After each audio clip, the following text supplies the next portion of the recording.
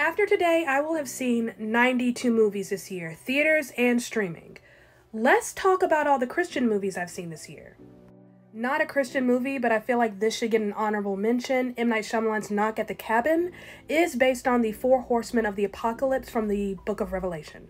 For the longest time with Christian movies, it's been message heavy, low quality. We're starting to see Christian filmmakers, producers, and writers find a balance where they can give us the message we're looking for while also providing us a quality movie. I think Jesus Revolution did a great job with that.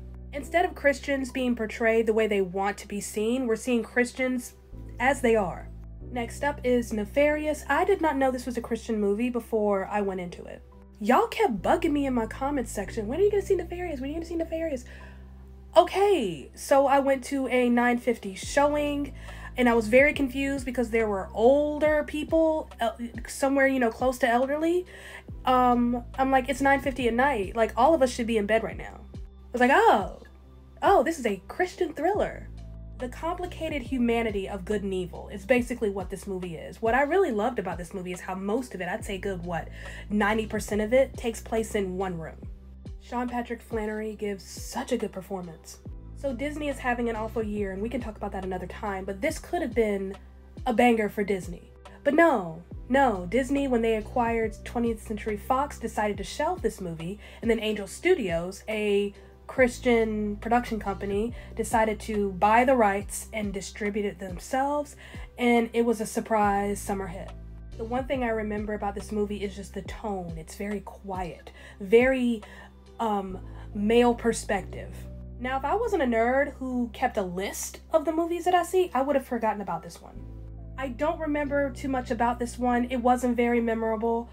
I do think I enjoyed it for the most part. I mean, it's your typical Christian movie. This is something that I would watch when I'm bored on PureFlix.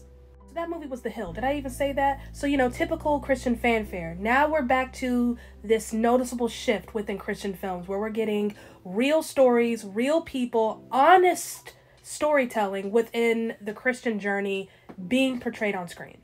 The Blind, the Phil Robertson story, Duck Dynasty, I loved this. I did not love this. Journey to Bethlehem, the Christian musical nativity story. This is basically a Christian high school musical. I think I would have enjoyed this just fine for what it was, you know, just goofy, fun family entertainment, had they not taken such liberties with the story. I thought it was unnecessary. Like, why would you do that? I've talked about this before the way men and women are being portrayed right now in film. They're stripping women of their femininity and they're stripping men of their masculinity. You know, your male protagonists are now just goofy, bumbling idiots.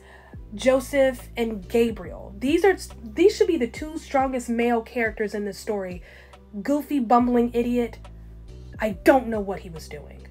And most recently, The Shift. Christian dystopian thriller. Like, if we're doing more of that, I'm here for it. This movie is basically the book of Job, but it's broken down in such a way that it makes it easier to understand. And Neal McDonough, chef's kiss, my guy. Chef's kiss.